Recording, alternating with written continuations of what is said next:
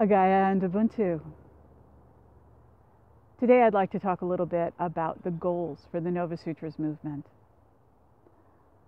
Quite simply, we're going to change the world. There are some smaller steps we'll take along the way to doing that. First, we just want to organize some local celebrations for the equinoxes and solstices of 2018.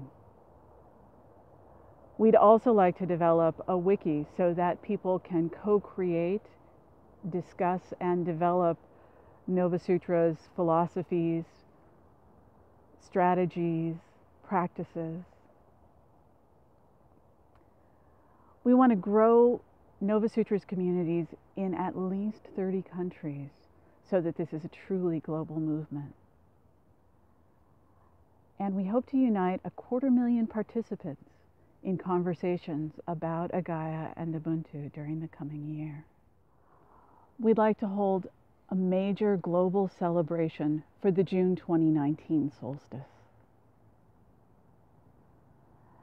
We can freely distribute a million printed books about Novasutras by the December solstice of 2019.